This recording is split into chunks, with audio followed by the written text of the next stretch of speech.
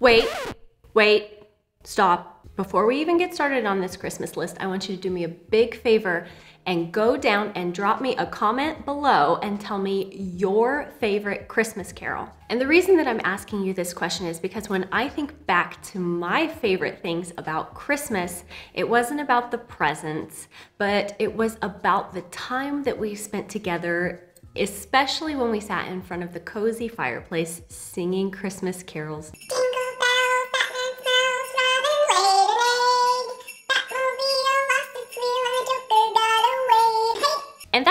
Important thing to note when it comes to both Christmas and minimalism because we all have our own favorite things, we all have our own particular takes, and we all have different ways of approaching things.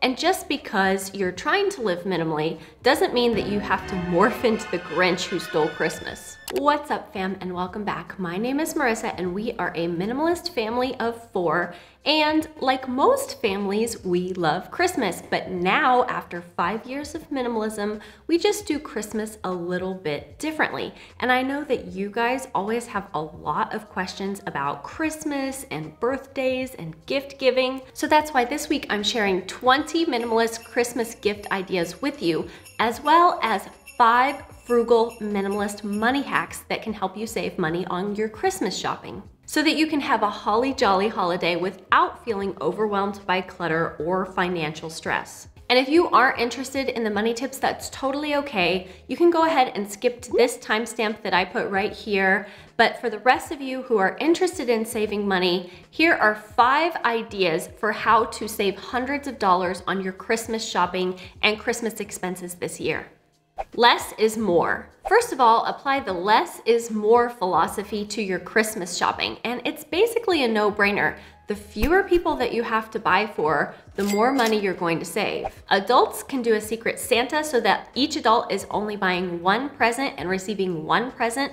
So not only is that going to cut down on the financial expenditure, but it's also going to prevent a lot of stuff coming into your home. You can also set spending limits, such as making a $25 or a $50 spending limit. And don't forget to go for quality over quantity. Make a list, check it twice. I think Santa might secretly be a minimalist because he always makes a list and checks it twice. And learn from Santa before you do your Christmas shopping, make a list for the people that you want to buy for, and then when you go to the store, stick to your list. And that way you're gonna be less likely to end up with weird stuff that somebody doesn't enjoy. Also, feel free to directly ask the person that you're buying for if there's anything that they need.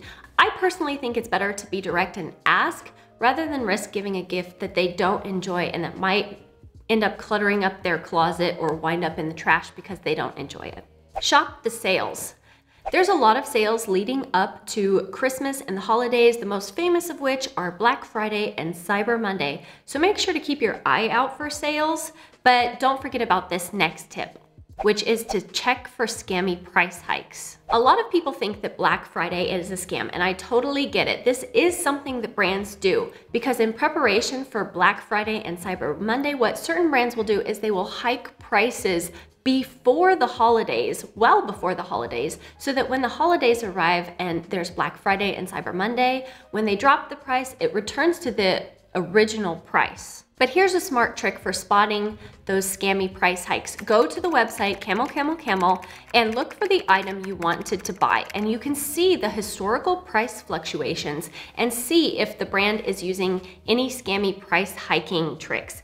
And I did this myself last year when I was buying my Ninja Blender. The Ninja Blender is something that had been on my own shopping list for a while, and the one that I wanted to buy was sold out on Amazon, but the store was offering a discount that was close to the historical price lows. So because it was something that I had had on my list for a while, I went ahead and scooped it up on Black Friday. You can't always predict how low the price will go in the future, and while I didn't get the absolute lowest price, I still felt really good about the deal that I was getting on that Black Friday sale. But I was actually a little bit mad because I could have saved even more money with this final money saving hack, and that is to shop with a cashback app like Rakuten. Because I'm in Germany, I can't use this money hack anymore, but most of you guys are in the US and Canada, and that's why I figured I would go ahead and share this price hack with you. All of my frugal minimalist mom friends swear by Rakuten, and on the holidays, the good thing is that sometimes they're even offering double or triple cash back on top of the sales that you can already get. So here's how it works. If you aren't already signed up, go to Rakuten and sign up with your email and you can actually add a Rakuten browser extension, like I can add the Chrome browser extension to my browser so that I don't miss any sales or coupons if I forget to go to Rakuten first before shopping. Or if you don't like to add the browser extension, you can also just try to remember to go to Rakuten and shop directly through their website. And you can look through your favorite stores. They have all sorts of stores like Sephora and Walmart and Macy's, Kohl's. And after you spend money, you can either get the money back by check in the mail, or you can do like I do and just have it hooked up so that it pays directly into your PayPal account. Okay, now that we've gotten those money saving tips out of the way, let's move on to this list. I've got 20 simple minimalist Christmas gift ideas for you in this video, and then also I'm going to share my blog post that is actually from last year and it has a total of 40 minimalist Christmas gift ideas for you to check out. So half are in this video, half are on the blog post for your perusal. And the thing that I like about these Christmas gifts is they're practical, they're meaningful, they're useful, and they're things that people would actually want to receive. Number one, consumables. Anything that you can eat or drink is a consumable, and there's so many fun ways to create consumable gifts for Christmas. You can make them by hand. I've given cocoa mixes before. One of my favorites is to do, it's called Aztec hot chocolate with a little bit of chili in it. It's so delicious, and you put it in a little mason jar with a cute little ribbon around the top, and I would give them to my son's teachers. You can also make cookies or candies or chocolates. You do need to know about their taste preferences though, because you don't want to give chocolates to someone who hates chocolates. Number two, memberships. That is always a great option for people in relationships or families because that gives them something to do. Even in the winter, maybe they can go to the museum and still have fun. And it's something that they get to enjoy together and bring you closer together. That one, that was me. That's right? No. Number three, a massage or spa day. Who wouldn't enjoy getting a massage or spa day and being pampered as a gift? I think that that's a great gift as well. You could give massages, back massages, foot massages. You could also do like facial treatments or maybe mani pedicures. That could also count as well. So those are some ideas for like a massage or a spa day gift for someone. Number four, gift cards. Gift cards are always a good go-to option. Gift cards to their favorite store Amazon gift cards, especially if they're a mom, there's always things that you can buy from Amazon as a mom. And then the next item on this list is also restaurant gift cards. If you give them a gift certificate to their favorite restaurant, then that's a nice little trip out that they get to enjoy with the family and take a little break from cooking for the evening and enjoy some good food. Number six, virtual classes. You guys know I'm a huge fan of Skillshare.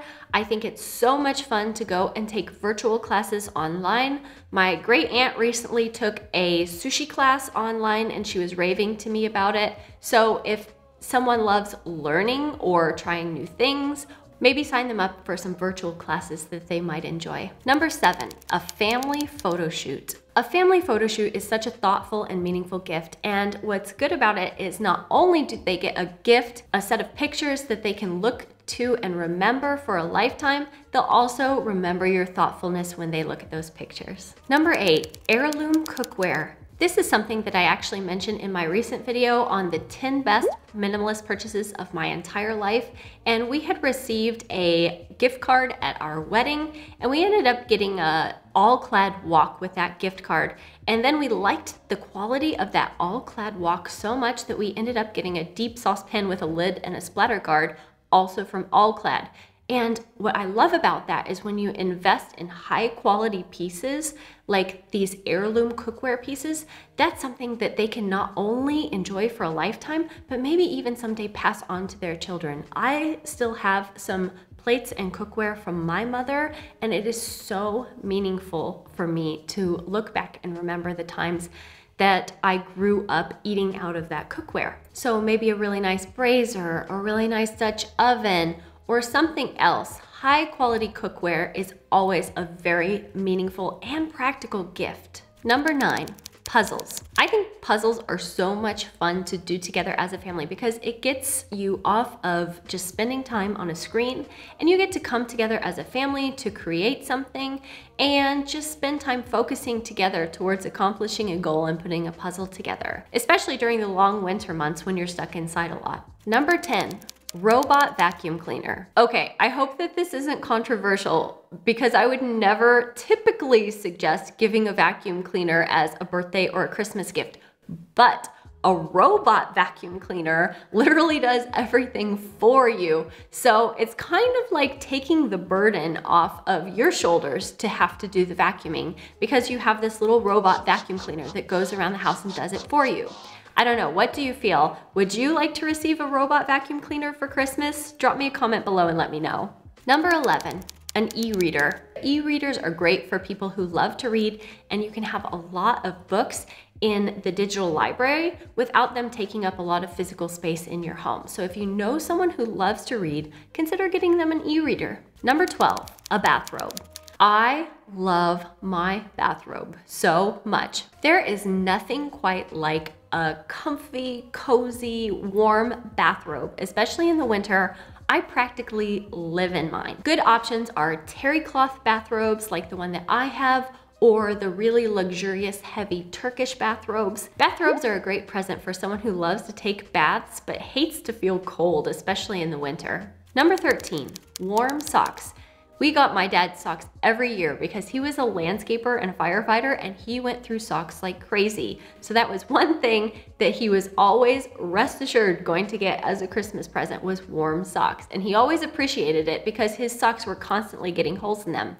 Now I'm the same way because our floors are 100 years old. They're super rough. They just chew up my socks like nothing else. And in the winter, my feet are really cold. So having warm socks, especially for people with cold feet in the winter, can be a really great present. Number 14, Donation to charity. If you know that a friend or loved one supports a specific charity, maybe consider giving a donation in their name to that charity for Christmas, and then you'll get a receipt or like a uh, paper that shows that you made the donation, and that is always appreciated. It's a nice way to make a difference in the world during the holiday season. Number 15, home cleaning or decluttering services. I've actually had people ask me this myself if I offer like decluttering coaching or home organization coaching, and that's not something that I offer myself, but I have friends who are professional decluttering consultants and professional organizing consultants. There's a lot of people who wouldn't dream of spending money on a service like this themselves, but if you give them the gift of a cleaning or decluttering or home organization consultant service, they would probably be over the moon about it. If you know someone who really wants to declutter their home or get organized or needs some help with the cleaning, but maybe they're too busy because of work or kids or whatever, if you give the gift of a service where someone comes to their home and helps you with that, that can be a really special and thoughtful gift. Number 16, a vacation. Who wouldn't want to receive a trip or a vacation as a gift? You can go to amusement parks as a family, Disneyland or Disney World, or maybe on a trip to a beach or somewhere locally, a national forest. But trips or vacations can be another really fun experience gift for someone in your life. Number 17, gift boxes. Gift boxes are really fun to make and to receive. And you can either buy gift boxes that might have like say a collection of coffee types or a collection of teas. Or one time I received a sushi making gift box from my best friend. Or you can also put gift boxes together. You could give snack gift boxes. You could give a spa in a box popcorn gift boxes, ramen noodle gift boxes, travel gift boxes. You can also give graduation or going away to college gift boxes. So there's a lot of possibilities for gift boxes that you can explore and think about. Number 18, a digital photo frame. Digital photo frames are a great way to get all of those extra pictures off of your phone and somewhere where you can actually see them and enjoy them. And Digital photo frames are like really like photo frames and then you plug in the photos that you want to see and then you just put the frame on a shelf or somewhere where you want to see it and it automatically scrolls through all of the pictures that you put on it. And it's a really great idea for someone who struggles with digital photo clutter like I'm sure a lot of us do. Number 19, college fund contribution. You can ask them if they're saving up on their own or if they have a college 529 account. That's a really meaningful gift that's going to make a big difference in their future. And number 20 on this list, cold, hard cash. When all else fails, cash is always a great thing to fall back on as a Christmas gift. I hope you enjoyed this list of minimalist Christmas gift ideas. Don't forget that I have linked the full blog post with all 40 of the minimalist Christmas gift ideas down in the comments and the description section below for you to check out. And I'm also going to have a, another video coming soon that's going to be specifically talking about toys for kids from a minimalist perspective. Make sure if you haven't already to go down and hit the little red subscribe button to subscribe to my channel and when you do, ring the bell to turn on all notifications so that you see those videos when they come out. And if you have more questions about maybe how minimalists celebrate Christmas or what we give our kids, you can go check out one of these videos from our Christmas last year. And I'll see you again in the next video. Until then, take care. Bye-bye.